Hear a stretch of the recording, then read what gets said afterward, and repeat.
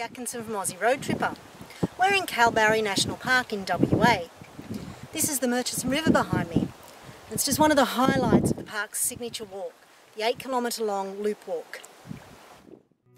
The walk starts at one of the park's most popular lookouts, Nature's Window. And it'll take you between 4 and 5 hours depending on your level of fitness.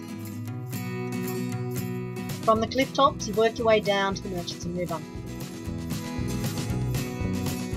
There's lots of variety on the walk, with a bit of rock hopping and some deep sandy sections as well. And of course, what goes down must come up, but the views make it all worthwhile.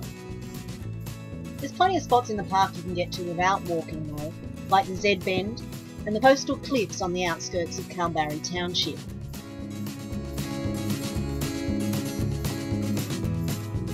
time you visit for late afternoon when the cliffs glow in the setting sun, because nowhere does sunset like Kalbarri.